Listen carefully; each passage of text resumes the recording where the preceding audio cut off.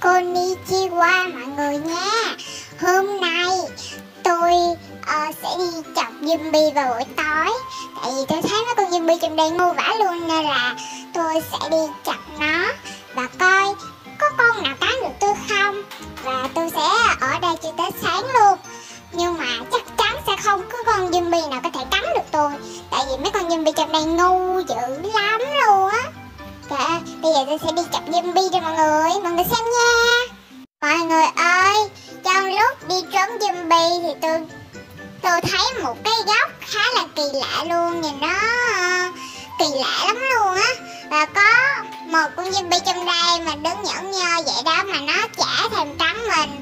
Và những con zombie những cái con zombie trong đây nó có một cái điểm ngu đấy chính là nó không leo lên được những cái vật cao nên là mình đứng ở trên nóc tủ hay là gì đó.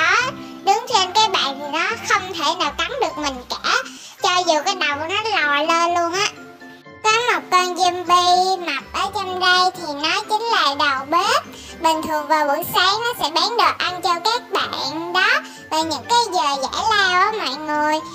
Thôi, bây giờ thì nó cũng đã đi rồi nên là mình sẽ đi chặt zombie tiếp nha. Chứ không có zombie thì nó chán lắm. Mình sẽ đi bằng cửa sau. Ủa, gì vậy trời? Chắn sẽ không có con zombie nào có thể cắn được tôi vì mấy con zombie trong đây ngu dữ lắm luôn